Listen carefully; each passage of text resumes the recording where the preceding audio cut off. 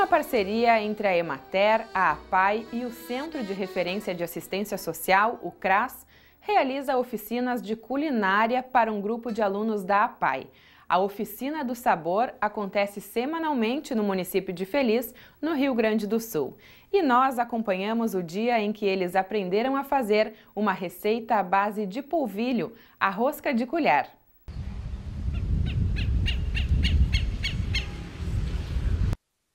Estamos em Feliz, no Rio Grande do Sul, município situado na região do Vale do Caí, em uma localização privilegiada entre dois principais polos econômicos do estado, perto da região metropolitana, a 80 quilômetros da capital Porto Alegre, e perto da região serrana, a 45 quilômetros de Caxias do Sul. Nessa cidade, semanalmente, esse grupo de alunos da APAI participa de oficinas de culinária. É a Oficina do Sabor. Esse projeto acontece já aqui na cidade de Feliz há vários anos, né? Essa parceria que é muito interessante, que a gente consegue manter, juntamente então o pessoal da APAI, né? A Emater, que é uma grande parceira, e aqui através da assistência social também. Os encontros são semanais, né, previamente planejados durante todo o ano, a gente tem o planejamento. E toda quinta-feira a gente se reúne aqui para fazer várias coisas gostosas, né? e poder aproveitar também esse momento, essa tarde que é nossa. E não é um simples encontro que a gente se reúna aqui para passar o tempo, não.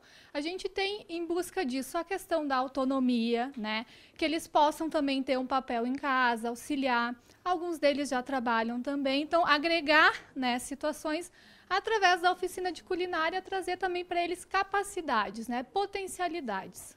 É, então hoje nós vamos fazer uma receita e o nome dela é rosca de colher. Por que será que é rosca de colher? Porque ela é tão fácil que vocês vão poder ensinar em casa como fazer. Querem aprender? Sim! tá certo, então a gente vai fazer.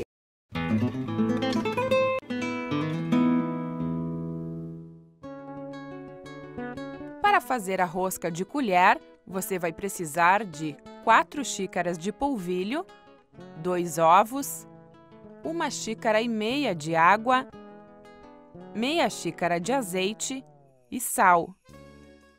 O primeiro passo é pegar o azeite, tá? Derramar numa panelinha, tá?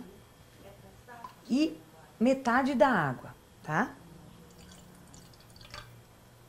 Agora, nós vamos botar isso aqui para cozinhar. Por quê? Nós queremos isso bem quente para escaldar o nosso porvilho, ok? Ok, também bom. Ó, agora vocês vão ouvir um barulhinho. Tá? Então a gente vai escaldar o porvilho com essa mistura do azeite quente com a água.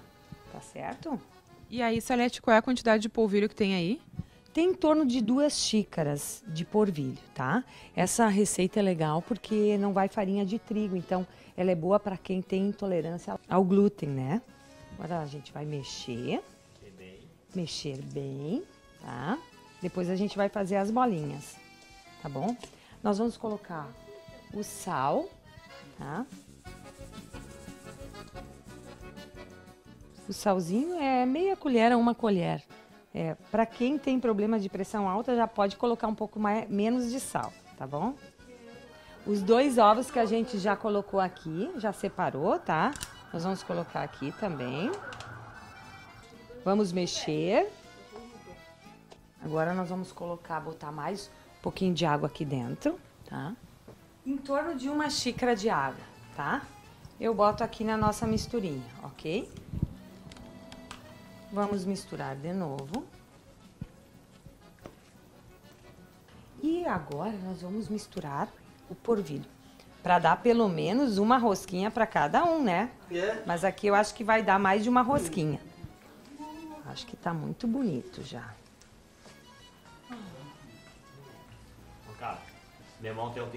Gente, olha só, tá quase ficando pronto.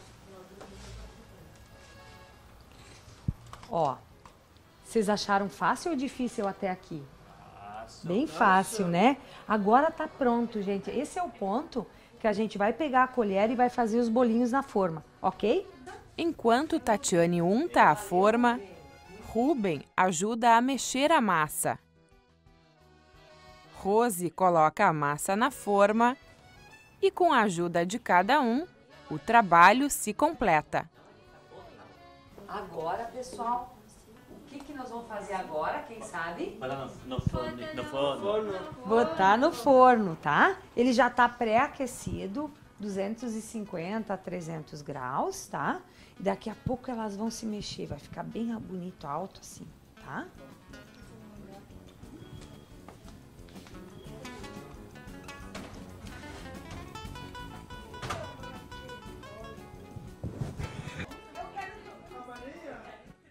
Então, depois de uns 30 minutos, mais ou menos, a gente tira do fogo e a gente pode ver, ele tá douradinho, né? E já tá com dobrou de volume.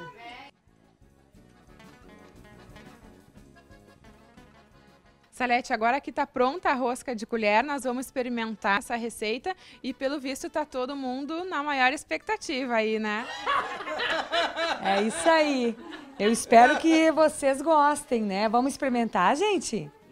Quem quer ser o primeiro? Ó, Cláudio. Vai lá, Cláudio. A Tati. O ideal era nós ter posto elas bem separadinhas para não grudar. Tá bom? Tá gostoso? Olha só, o Ruben está preparando aqui um potinho. Mostra para nós, Ruben, o que, que tem aí dentro. Rosquinha. Já tem uma rosquinha aí para quem é. Professora Anja, muito meu querida. É, eles gostam sempre de levar uh, Minha. pra outra prof, é, que vinha no ano passado, ela gosta de ter uma provinha do que é feito aqui. Ah. Então ele sempre solicita, ele faz às vezes uma receita, faz dois bolinhos e leva um pra prof da pai que acompanhava no ano passado. Foi a primeira vez que eu tive a oportunidade de vir para cá, para a PAI, e achei bem interessante, é, foi muito prazeroso estar com pessoas especiais, me fez um pouco melhor também hoje, saber que eu contribuí para que eles tivessem uma tarde diferente, com uma comida saborosa que eles próprios fizeram. Estou bem feliz por isso. Essa receita, o diferencial dela é, foi a praticidade. Eles podem ir para casa, desenvolver ela com toda a segurança, porque não tem muita tecnologia, né? Tem que ter um fogão e, e um forninho para assar, né? Eu gostaria de agradecer também, né, essa oportunidade especial a Giane, que ela me ajudou nas receitas e me deu as balinhas, agora ela está com vergonha. Tô, tô bem feliz aqui.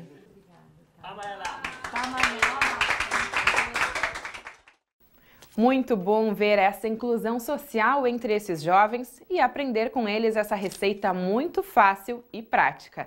As nossas receitas e as reportagens estão no site www.emater.che.br e também no endereço youtube.com/ematerrs.